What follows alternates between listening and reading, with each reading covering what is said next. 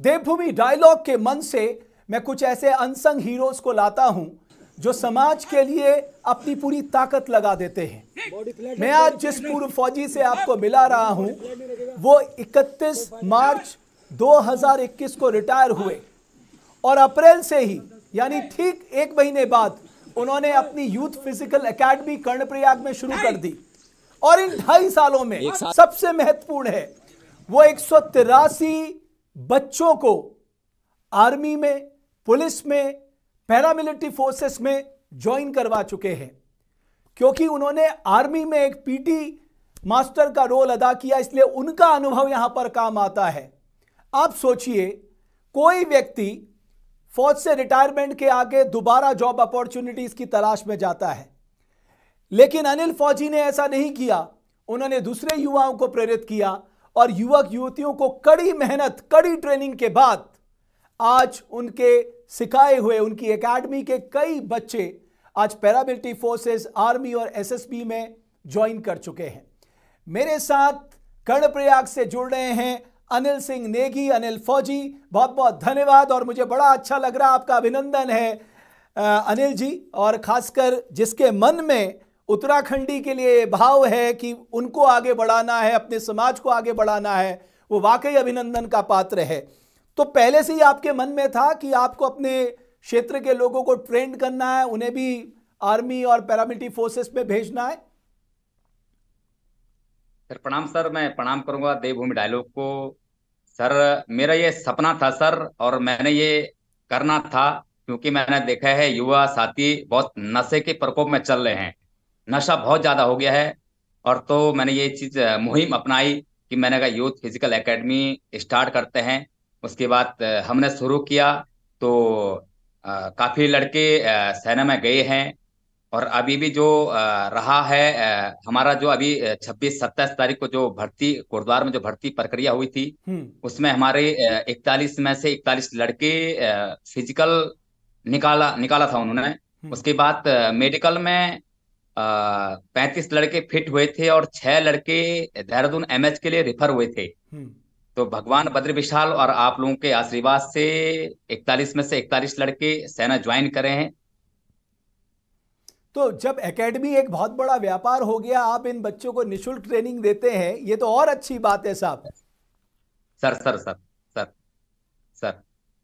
तो आपकी ट्रेनिंग में क्या क्या रहता है? रूटीन क्या रहता है? मतलब बच्चों को किस तरह से आप सिखाते हैं? क्योंकि डिसिप्लिन सबसे ज़्यादा ज़रूरी है। सर सर, मैं एक, अपने आप को लेता हूँ, सर, मैं फौजी जवान रहा रहा हूँ और एक डिसिप्लिन का बहुत बड़ा होता हमारा।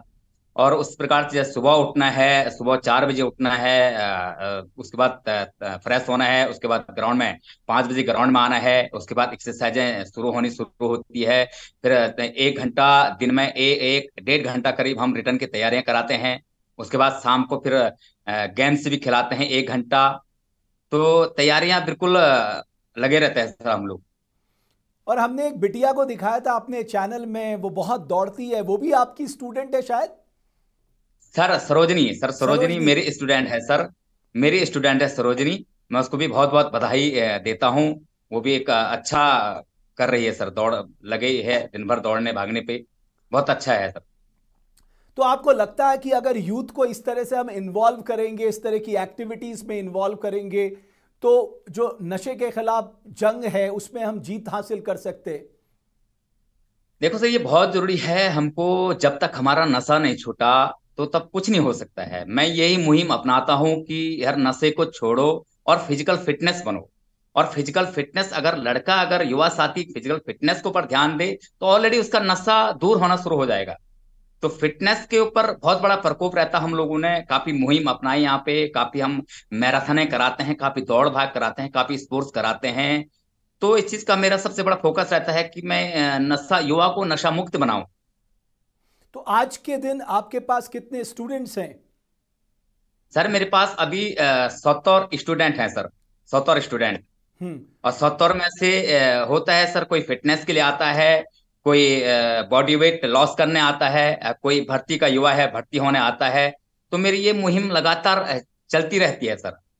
और मैं ये नहीं है सर कि मैं एकदम मैं फ़िज़िकल फिटनेस को लेकर के अगर एक युवा साथी बोलता है कि मुझे मेरा हाइट नहीं बढ़ रहा है तो उसके लिए भी मैं जवाबदार हूँ। हाइट नहीं बढ़ रहा है चेस्ट नहीं बढ़ रहा है, मेरे घुटने मिलते हैं मेडिकल साइड से भी और फ़िज़िकल साइड तो है ही। तो अगर मेडिकल साइड से भी अगर युवा बोलता है, भैया, मुझे दिक्कतें हो रही है। काफ़ी लोग मेरे साथ, मैं उत्तराखंड बेसिस की, उत्तराखंड से बाहर की बेसिस की बात करूँ, उत्तराखंड उत्तराखंड तो है ही, अपना है। उसके बाद, बाहर की बात भी करूँ तो काफ़ी युवा बाहर के भी जुड़ते हैं मेरे साथ कि, भैया, मुझे बताओ, मेरा ये हाथ हल्का तिरछा चल रहा है या मेरे पैर मिल रहे हैं? या मेरी हाइट नहीं बढ़ रही है या मेरे भैया मेरे चेस्ट नहीं बढ़ रही है तो उसके लिए भी मैं इसके साथ इसके एक्सरसाइज उसको व्हाट्सएप के वीडियो कॉल के माध्यम से मैं सिखाते रहता हूँ। ओके और जो तो ग्राउंड में रहता है उनको भी मैं सिखाते रहता हूँ। सत्रह साल आपने फौज में सेवा दी है और वहाँ पर आप एक पीटी मास्टर थे तो आपका ये अनुभव बिल्कुल यहाँ पर काम आ रहा है। सर बहुत ज़्यादा सर बहुत ज़्यादा। सर मैं आठ साल पीटी उस्ताद रहा हूँ उसके बाद मैं पाँच भर्ती में इन्वॉल्व रहा हूँ। मेरा ये बहुत अनुभव है सर। इसका बहुत अनुभव है और जो लड़के लेते हैं उनका मैं पूरा फ़ायदा देता हूँ। तो वो जो एक आज डिफरेंट यानी आर्मी में एसएसबी में पैरामिलिट्री फोर्सेस में चले गए हैं वो तो एक तरह से आपके ब्रांड एम्बेसडर बन गए उस क्षेत्र के। उनको लेकर बाकी लोग भी इंस्पायर होंगे कि साहब नशा नहीं करना है खूब मेहनत करनी है तभी हम आगे बढ़ सकते। सर सर सर, ये तो है सर, अगर सभी इस प्रकार से अगर मुहिम एक अपनाना शुरू कर दे तो नशा नहीं होगा सर। मैं यही बोलता हूँ, युवाओं को यही बोलता हूँ, यही आवाज़ मेरी रहती है या नशा मत करो। आपने कोई ज़रूरी नहीं है आपको फौज में जाना जाना है, कोई ज़रूरी नहीं आपको वर्दी पहननी पहनी है। पर नशा से दूर रहोगे आप अपने घर को बीस हज़ार में घर, आपका घर परिवार बीस हज़ार में चल सकता है। अगर आप नशा करोगे तो आपके लिए लाखों रुपए भी कम है। मेरे लिए सबसे पहले ये मुहिम रहता है। आगे के लिए क्या आपका प्लान है अनिल फौजी जी? आगे आप क्या सोच रहे हैं कि इसका थोड़ा विस्तार देंगे, बड़े पैमाने को उत्तराखंड के यूथ को जोड़ेंगे अपने साथ? सर, मैं बस जोड़ने की प्रक्रिया तो है सर, जुड़ रहे हैं लड़के। अभी का रिज़ल्ट से इकतालीस में से इकतालीस आपके आशीर्वाद से और बद्रीनाथ के आशीर्वाद, बाबा बद्रीनाथ के आशीर्वाद से लड़के निकल रहे हैं और लड़के जोड़ भी रहे हैं। काफ़ी मेरे पास काफ़ी कॉलें आ रही है। भैया हम जुड़ने चाहते हैं, भैया मैं एकेडमी में आना चाहते हैं। तो अभी एकेडमी सुचारू रूप से जब आगामी जब आने वाली भर्तियाँ होगी तो उसके लिए सुचारू रूप से खोली जाएगी और एक मेडिकल की प्रक्रिया से लेकर जो होता है आर्मी के अंदर, एक डिसिप्लिन के साथ जो आदमी करता है, उसके साथ मैं करूँगा कोशिश।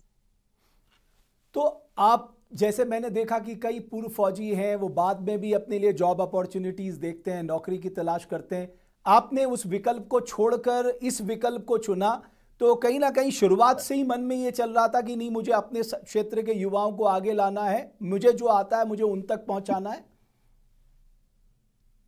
सर मैं एक्चुअली मैं पाँच भर्तियों में था तो मुझे पता है मेरे युवा साथी मार कहाँ खा रहे हैं इतना मुझे पता है और मेरे जब मैं 2020 की इस लास्ट भर्ती में जब रिटायरमेंट आ रहा था उससे पहले भर्ती में 2020 की भर्ती में था हम्म। तो मैंने वहाँ पे काफ़ी उतार चढ़ाव देखे हैं हम्म। और मुझे पता है लड़का ये तो नशा कर रहा है ये तो इसको सिखाने वाला नहीं मिल रहा है। है मेहनती है एज एस गढ़वाली है हम लोग। गढ़वाली खून है हमारा। हमारे खून से तो बहुत बड़े लिखित लिखे हुए हैं। तो हमारा खून है तो मैं सोचता हूँ कि यार गढ़वाली खून है ये मार कहाँ खा रहा है? इसके लिए मैं जब रिटायरमेंट जाऊँगा तो मैं एक यूथ फ़िज़िकल एकेडमी का उद्घाटन करूँगा और उसके मुहिम से मैं इनको सिखाना शुरू करूँगा। ये मैंने सोचा सर।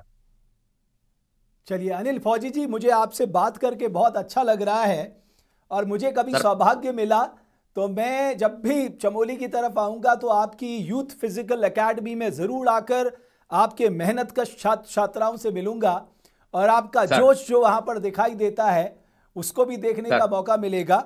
लेकिन मैं आपका अभिनंदन करना चाहता हूँ पूरे उत्तराखंड की ओर से आपको साधुवाद देता हूँ कि एक ऐसे समय में जब हमारा युवा नशे की तरफ़ बढ़ रहा है उसको रोककर आप उसे वापस उसको ज़िंदगी की तरफ़ ला रहे हैं और उसे जीवन का महत्व समझा रहे हैं।